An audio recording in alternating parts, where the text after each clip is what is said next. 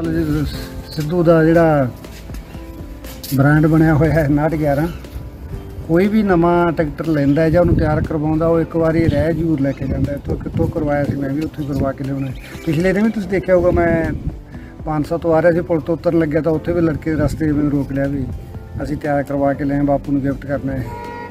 ਤੇ ਵਧੀਆ ਨੌਜਵਾਨਾਂ ਦਾ ਰੁਝਾਨ ਬਣਿਆ ਹੈ ਨਾ। ਟਰੈਕਟਰ ਨਾਲ ਪਿਆਰ ਪਿਆ ਤਾਂ ਖੇਤੀ ਨਾਲ ਵੀ ਪਊਗਾ। ਤਾਂ ਇੱਕ ਚੰਗੀ ਗੱਲ ਹੈ। ਜੋ ਸਿੱਧੂ ਦਾ ਜਿਸ ਤਰ੍ਹਾਂ ਦਾ ਸੁਭਾਅ ਸੀ ਹਨਾ ਉਦਾਂ ਹੀ ਜ਼ਿੰਦਗੀ ਚੱਲਦੀ ਰਵੇ ਅੱਗੇ। ਬਾਬੇ ਦੇ ਉੱਤੇ ਕੋਈ ਬਹੁਤ ਕਰਦੇ ਰਵਾਂਗੇ। ਮੈਂ ਗੁਰਦਾਸਪੁਰ ਤੋਂ ਆਇਆ ਟਰੈਕਟਰ ਤੇ ਆਏ ਸੀ।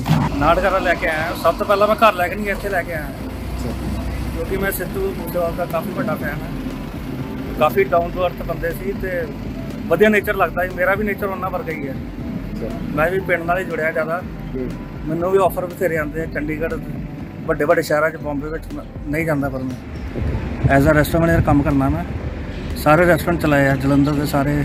ਤੇ ਪਟਿਆਲੇ ਵੀ ਆਫਰ ਆਇਆ, ਮੈਨੂੰ ਮਨਾ ਕਰਤਾ ਉੱਥੇ ਮੈਂ। 4 ਲੱਖ ਤਾਂ ਲਿਆ ਮੈਂ ਐਕਚੁਅਲੀ ਮੈਨੂੰ ਸ਼ੁਰੂ ਤੋਂ ਹੀ ਗੱਡੀ ਦਾ ਇੰਨਾ ਸ਼ੌਂਕ ਹੈ ਨਹੀਂ ਮੇਰੇ ਘਰ ਗੱਡੀ ਹੈ ਨਹੀਂ ਹੈ। ਮੋਟਰਸਾਈਕਲ ਆ ਮੇਰੇ ਕੋਲ ਪਲਸਰ 180 ਸੀਸੀ ਹੈ। ਉਹ ਵੀ ਜਦੋਂ ਪਹਿਲੀ ਵਾਰੀ ਆਇਆ ਸੀ ਤੇ ਸਭ ਤੋਂ ਪਹਿਲਾਂ ਪੂਰੇ ਗੁਰਦਾਸਪੁਰ ਵਿੱਚ ਮੈਂ ਹੀ ਲਿਆ ਸੀ। ਸਪੈਸ਼ਲੀ ਪੁਣੇ ਤੋਂ ਮੰਗਾਇਆ ਸੀ ਮੈਂ।